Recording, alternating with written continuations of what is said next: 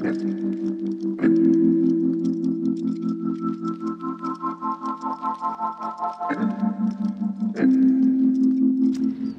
ragazzi, benvenuti ad un nuovo video. Um, oggi vorrei parlarvi di un tema che secondo me non, uh, non, si conosce tanto ed è quello del medical tourism. Cosa significa medical tourism? Significa uh, sfruttare delle opportunità di viaggio oppure organizzarsi dei viaggi appositamente per um, risolversi dei piccoli o grandi problemi di salute.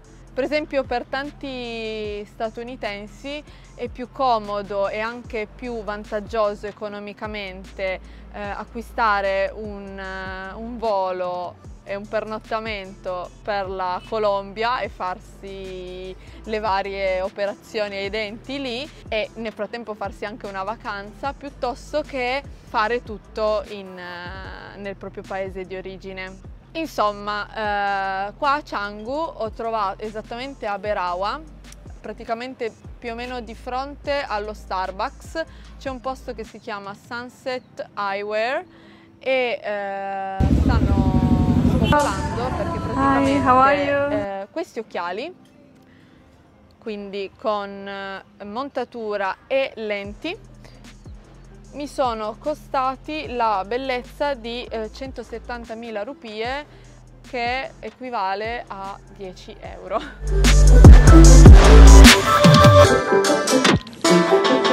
Era ora, era ora di cambiarli, è tipo una vita che devo cambiarli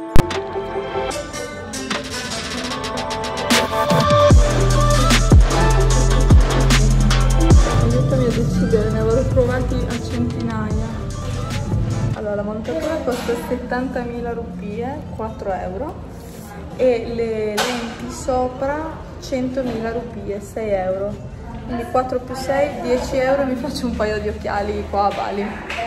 Io sono sconvolta ovviamente.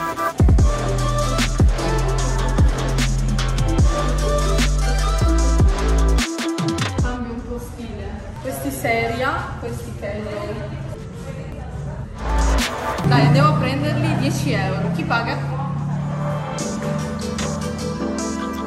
Ok, sono qua, ho scelto la montatura eh, dopo un po' di indecisione e mi faranno anche l'esame gratuitamente. Cioè, che figata.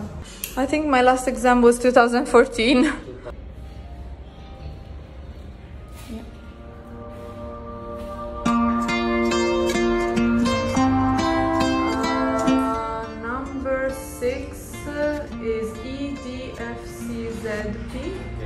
Okay, so I'm putting uh, 325 with cylinder minus 1 on the right eye and... Minus 1. There you go. Thank you. Yay.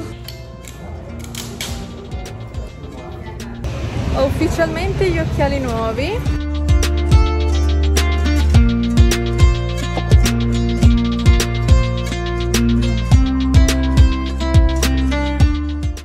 io sono abituata in Italia 200, 300, anche di più, 400 euro e eh, insomma l'ho sempre rimandata come cosa, anche perché l'ultima volta che avevo fatto una montatura era il 2014 ed ero in Australia e anche lì eh, i prezzi, soprattutto eh, relativamente a quanto si guadagna in Australia, erano bassissimi.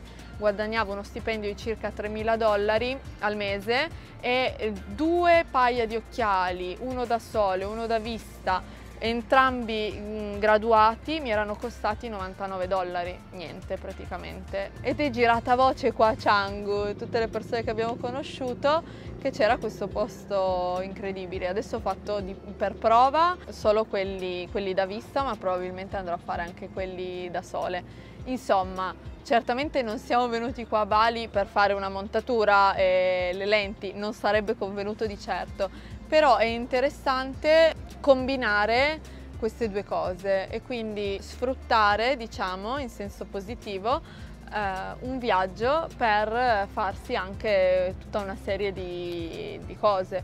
Questo è un bel modo di unire, come si dice, due piccioni con una fava, no? Anche quindi di unire l'utile al dilettevole. Secondo me ci sono molte opportunità in questo senso, io adesso non so eh, quali siano le vostre eh, condizioni e quali siano vostri, le vostre mete preferite, però io farei un po' di ricerca a riguardo e sono sicura che mh, mm, potrete trovare dei, mh, mm, diciamo, delle offerte super vantaggiose e nel frattempo farvi anche una piccola vacanza che male non fa.